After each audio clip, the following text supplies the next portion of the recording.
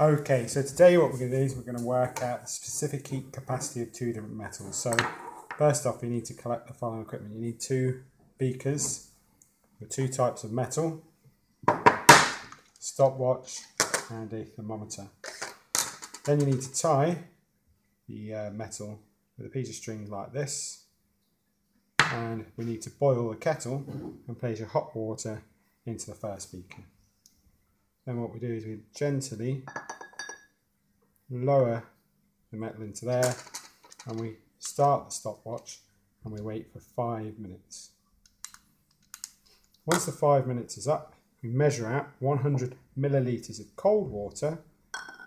We take the heated metal and gently place that in there. We've recorded our initial temperature We've taken our start temperature, which is 22, and we record the highest temperature at which this reaches.